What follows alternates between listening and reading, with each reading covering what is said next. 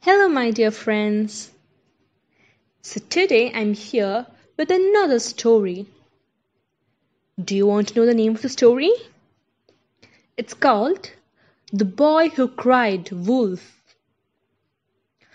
Once upon a time, there lived a boy who became bored when he watched over the village sheep grazing on the hillside.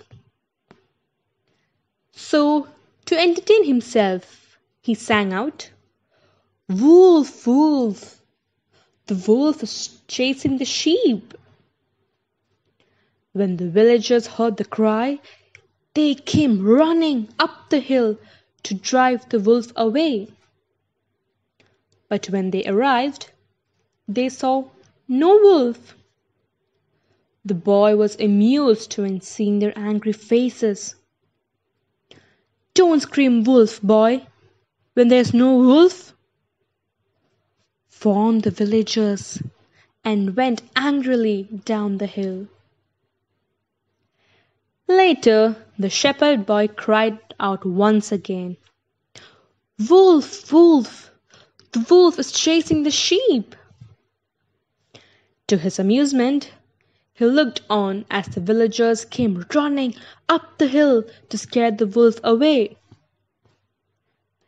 As they saw no wolf, they said to the boy strictly, Save your frightened cry for when there really is a wolf. Otherwise, don't cry wolf when there's no wolf. But the boy grinned at their words and didn't bother them, while they walked grumbling down the hill once more. As time passed, the boy saw a real wolf sneaking around his flock.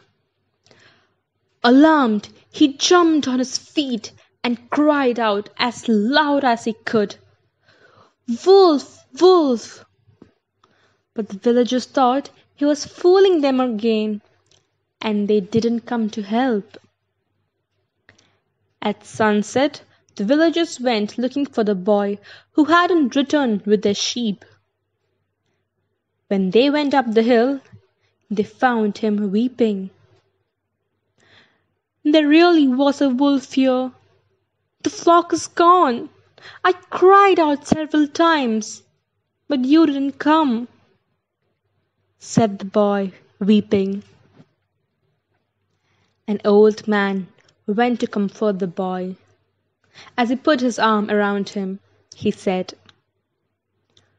Nobody believes a liar, even when he's telling the truth. So, my dear friends, have you ever lied? Remember, if you lie once in your life, it breaks the trust with your friends and family. Even if you're telling the truth next time, no one would ever believe a liar. The truth may bitter sometimes, but you will have the trust with other people. So, my dear boys and girls, never lie to anyone. Okay, so see you next time with another story. Bye bye.